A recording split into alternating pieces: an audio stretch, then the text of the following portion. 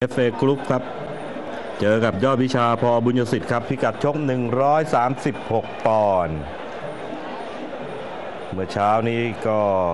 แม่ต้องบอกว่า คู่นี้ไม่เคยเจอกันมาครับ มาดูเพชรบุญชูนี่อายุ 20 ปีนะครับ ก็มาจากอุดรธานี ส่วนยอดวิชาครับ อายุ 16 ครับมาจากโคราชนครราชสีมา ดู 3 ไฟต์ล่าสุดครับของเพชรบุญชู เป็นฝ่ายชนะคะแนนสเก็ตดาวเพชรพญาไทยมาครับ แล้วก็ชนะคะแนนน้องโอไก่ย่าง 5 ดาวยิมครับ ไฟต์ล่าสุดครับชนะคะแนนดีเซลเล็กอู๊ดดอนเมืองครับ เมื่อวันที่ 7 ธันวาคมที่ลุมพินีครับ ส่วนยอดวิชาพอบุญยสิทธิ์นี่ผัดกันแพ้ผัดกันชนะกับก้องศักดิ์สิทธิ์บุญมีมาครับ ไฟล์ล่าสุดเมื่อวันที่ 7 ธันวาคม ที่ลุมพินีครับเป็นฝ่ายชนะคะแนนน้องโอไก่ย่าง 5 ดาวยิมมาครับเพชรบุญชูนี่ก็ถือว่าแม่เป็นมวยเข่าด้วยกันทั้งคู่แหละครับเพชรบุญชูนี่มีเตะหมัดรุนแรงนะครับถีบรุนแรง กระดูกชั้นมวยนี่ถือว่าผ่านดีกว่าครับ ส่วนยอดวิชานี่ได้สดครับเด็กกำลังห้าวครับ มวยเตะถีบเข่าวงในนี่ปั้มตีเหนียวแน่นครับ วันนี้ขึ้นมาเจอกับนักชกรุ่นพี่ครับ อย่างเพชรบุญชู โอ้โห ต้องยอมรับครับว่ายอดวิชานี่ ถือว่า โตเร็วจริง ๆครับ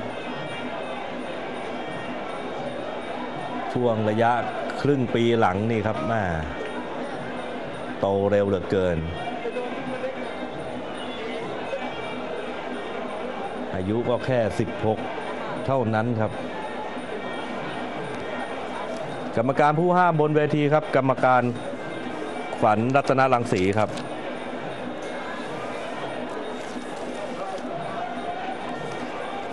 ก็วันนี้ก็แฟนมวยให้การอุดหนุนต้อนรับเสียเนาครับ เก็บค่าผ่านตัวได้2ล้าน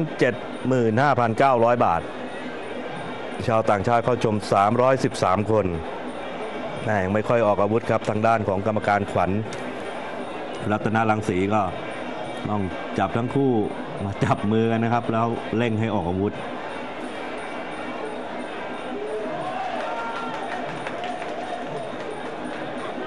มาดูผลการแข่งขันในคู่อื่นกันบ้างครับวันนี้ นิวลูกรักเอ็กซิลิคอนยิมครับเป็นฝ่ายชนะคะแนนพลอยสยามเพชรยินดีอะคาเดมี่ป้องกันแชมป์มวยไทยรุ่นมินิฟลายเวต 105 ปอนด์ของประเทศไทยได้สำเร็จครับคู่ที่ 2 ครับก็ตีเพชรยินดีอะคาเดมี่ครับแพ้น็อกให้กับศักนรินสิทธิ์ซ้ออึ่งในยกที่ 4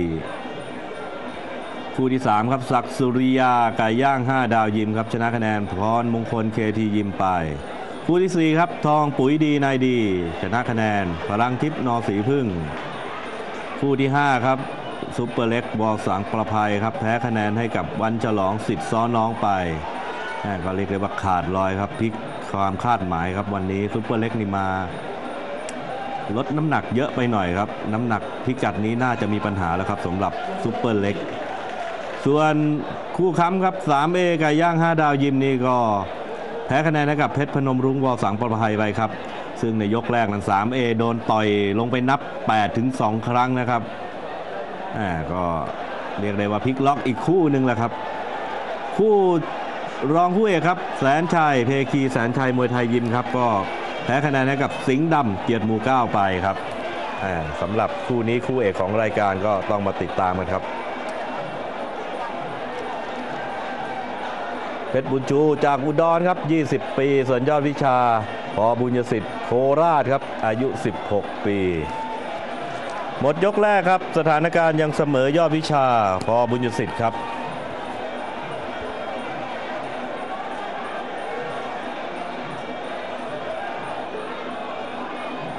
สวมหมวกกันน็อกครับเพชรบุญชู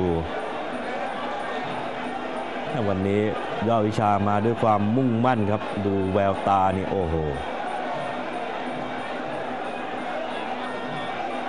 ถือว่าเป็น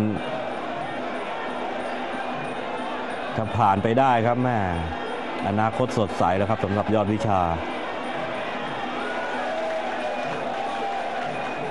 เพชรบุญชูก็ต้องช่วงนี้ก็ถือว่าฟอร์มกำลังฮอตนะครับเพชรบุญชู FA Group ก็ถือว่าสามไฟล์หลังของทั้งคู่นะครับ ก็โชว์ฟอร์มมาได้ สวยหรูครับ อย่างที่บอกแล้วครับ ชื่อชั้นนี่เพชรบุญชูดูดีกว่าครับ ยอดวิชานี่เป็นมวยเด็กที่กำลังพุ่งขึ้นมาแล้วครับ วันนี้มาเจอด่านสกัดของเพชรบุญชู จะผ่านได้หรือเปล่าต้องดูครับสำหรับมุมน้ำเงินยอดวิชาพอบุญสิทธิ์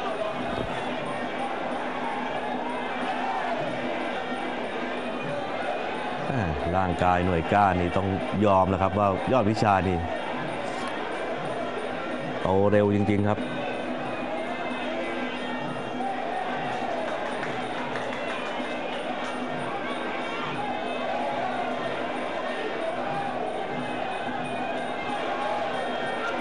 เอาละครับหน้าคู่นี้ก็ยังไม่เคยเจอกันมาครับนี่เป็นครั้งแรกครับที่ชกกัน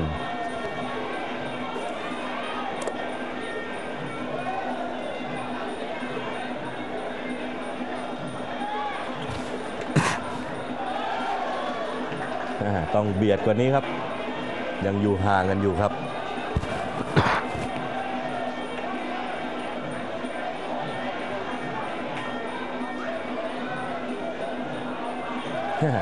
พยายามจะบาทาลูกพักเลยครับ แต่ก็ยังไม่ชัดเจน โอ้โหแมหมดยกที่สองครับ อ่า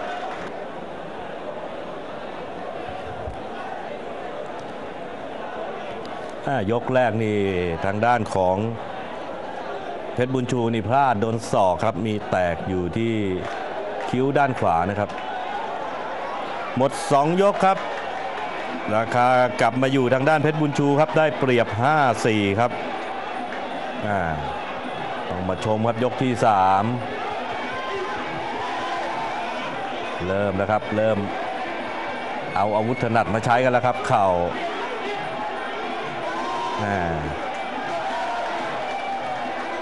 เหลี่ยมใครจะดีกว่ากันต้องดูครับ เหลี่ยมเก๋ากับเหลี่ยมสดครับ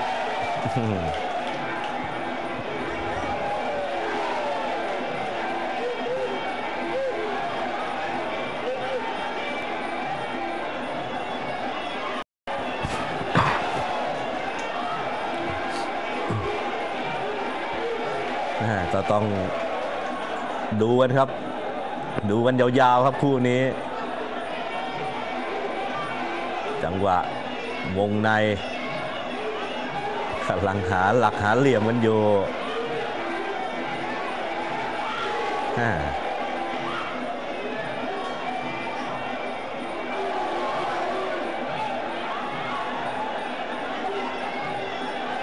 โอ้ย เข่ายัดใส่ลูกนี้ครับ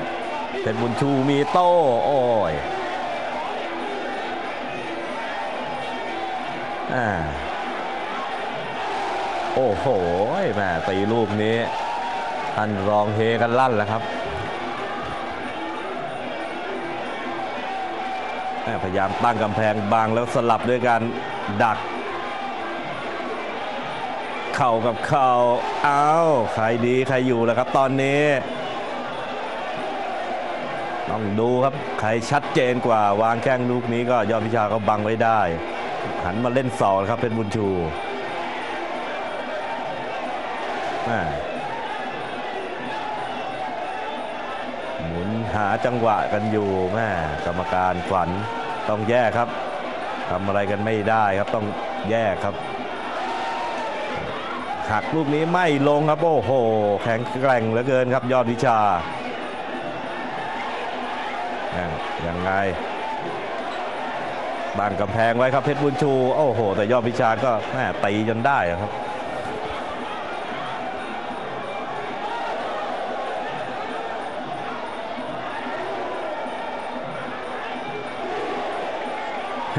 เข่ากับเข่าโอ้ยแลกกันลูกนี้ครับแม่ โอ้โห ต้องยอมรับว่าวันนี้ยอดวิชานี่โดนอาวุธนี่ไม่มีอาการให้เห็นเลยครับ ไม่มียุบครับเพชรบุญชูต้องดูครับ ยืนระยะยาวจะเป็นยังไงอ้าวโดนลูกนี้ครับ โอ้โหหมดยกที่ 3 ครับทางด้านยอดวิชานี่มั่นใจนะครับ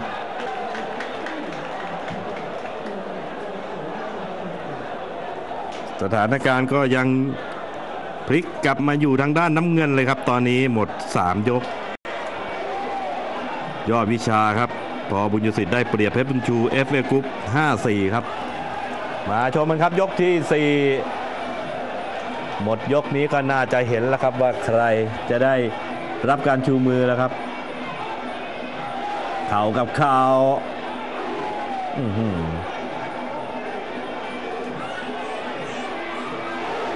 แม่ต้อ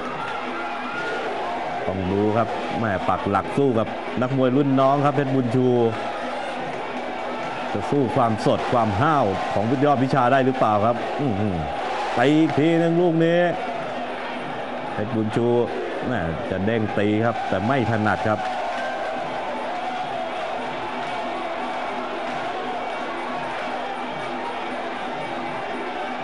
อ่าตีครับตีนคนละทีสองทีครับ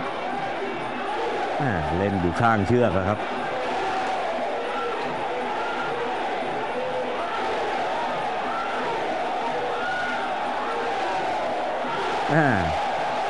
โอ้โหแลกกันสนุกเลยครับ อย่างนี้เข่ากับเข่ามาหากาวแล้วครับ ดูกันยาวเลยครับ อย่างนี้ใครอย่ายุบก็แล้วกัน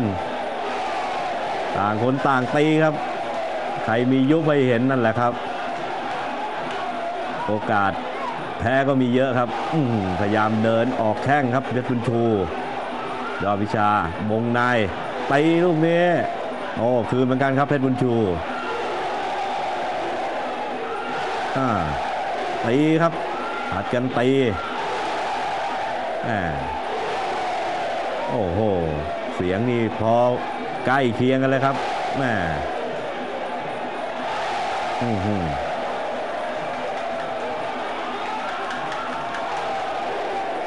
ยังไม่มีอาการอะไรเลยครับ ยอดวิชานี่ ยังไม่มียุบครับ โอ้ยเพชรบุญชู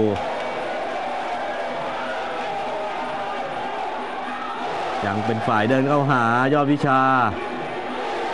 โอ้โห เจอเหลี่ยมจังหวะนี้ครับ นี่ครับเด้งตีครับยอดวิชาชัดเจนตีอีกทีหนึ่ง เพชรบุญชู โอ้แม่ไม่โตครับเดินเข้าไปสลับลูกนี้แม่ทำได้ดีครับเป็นบุญจูโอ้ยแต่เจอสวนกลับมาครับอ้าวอ้าวมือไปติดเชือกครับแม่ยอดวิชา เอาแล้วครับท่านลองเริ่มเฮเลยครับแม่โอ้โหแม่ได้จังหวะนี้ครับ โอ้โห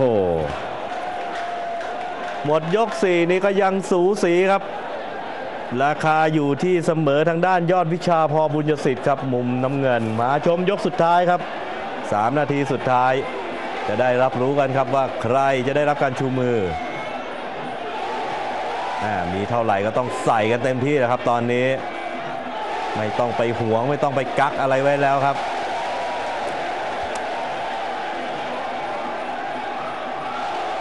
อือหือ แม่ดูกันเลยครับแม่เข่ากับเข่าตีผัดกันตีผัดกัน ต้องดูครับว่ายืนระยะกันแล้วนี่ใครมียุบใครมีย่นนั่นแหละครับ มียุบก็โอกาส จะชนะก็แหม่ก็เรียกตีนิ่มไปเรื่อยๆครับ ดูครับจังหวะนี้โอ้โหหมุนครับยอดวิชา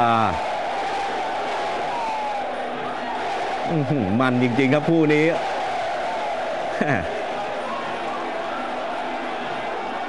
ต้องเดินแล้วครับเพชรบุญชูสถานการณ์ตอนนี้แม่ดูทิศทางดูน้ำหนักแล้วยอดวิชาได้เปรียบอยู่ครับตอนนี้ สถานการณ์ตอนนี้ตีอีกทีนึงครับยอดวิชา เพชรบุญชูมีโต้มีเถียง โอ้โห เดินอย่างเดียวเลยครับยอดวิชา ไม่มียุบไม่มีย่นครับตอนนี้ โอ้แต่ผิดกับทางด้านเพชรบุญชูครับ ไม่มีอาการตลอดครับ เวลาเจอเข่าโอ้โหพยายามแล้วครับ นี่แหละครับเขาถึงบอกว่าต้องดูกันยาวๆครับเรียกได้ว่าสู้กันจนถึงดีกาเลยครับอย่างนี้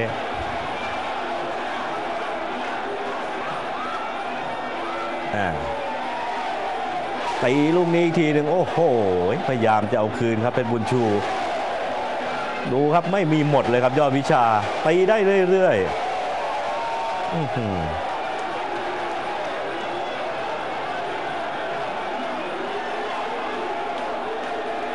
ยังเดินเข้าหาครับยอดวิชา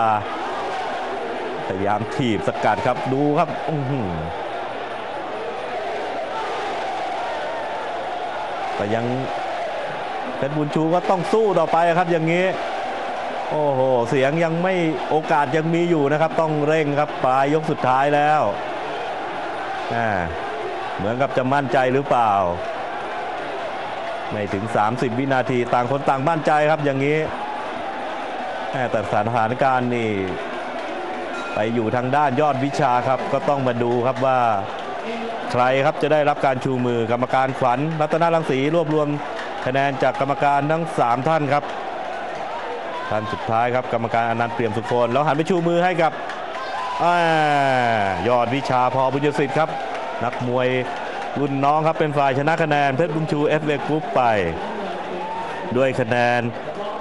49 ต่อ 48 จากกรรมการสินชัย รัศมีเฟื่องมนัทนิมิมณีแล้วก็กรรมการ